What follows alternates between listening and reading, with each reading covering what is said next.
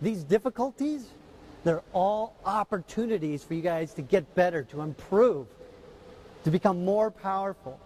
And the stuff you guys do right now in your teen years, this is the stuff you're going to take forward your whole life. You guys have heard of Mark Spitz, the guy who Michael Phelps broke all his records, right? So my grandmother used to swim at the club in Sacramento with him. When I was a kid, she'd tell us stories about this family, the Spitz family, and how they were just crazy about getting their kid to, to the Olympics, and they took him to every coach, and, and they made him get up at 4 o'clock in the morning and do his workouts, and then again in the afternoon. My grandma used to tell me Mark hated his dad for it.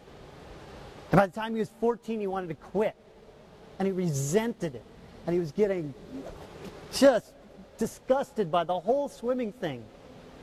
Then, of course, we all know the rest of the story. He goes on to win seven gold medals. And guess who he's on the podium with the seventh gold medal thanking profusely?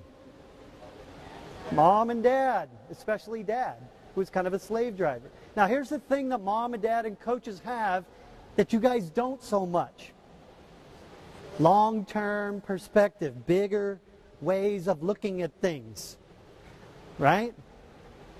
This is the one thing. I have two teens too. I have a 13 and a 17 year old. And this is the kind of thing that adults can give you. And you're just going to have to trust them on some of this. Use your smarts. But this is where going into these difficult situations is really going to benefit you and getting that guidance to help you through. You want to look at everything as an opportunity to grow. All right? So basically, you want to throw yourself into challenges.